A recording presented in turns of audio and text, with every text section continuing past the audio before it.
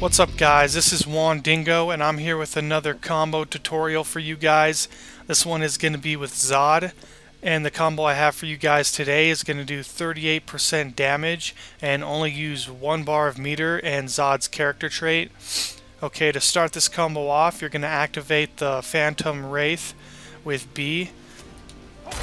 It looks like that and from here we're going to do the Wraith grab with down forward or down away B and that will look like this. Alright, after the Wraith is done and he throws your opponent back toward you, you're going to catch him with an out of combo roundhouse with away and A and that will look like this. Okay, so those two together will look like this. Alright, so on their way back from the roundhouse, you're going to catch them with a double down, which is going to be A in the air and look like this. Okay, so the combo will look like this so far.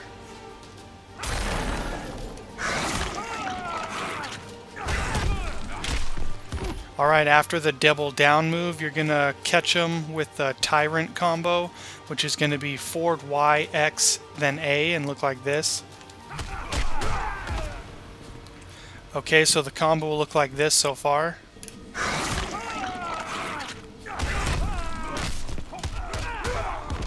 Alright, after the Tyrant combo, you're going to finish this combo off with the Zod Charge move, which is going to be a way forward, and Y, and look like this. Alright, and that's where we're going to use our one bar of meter, is on the meter burn version of the Zod Charge, which will look like this. Okay, so this is what the combo will look like when it's all put together.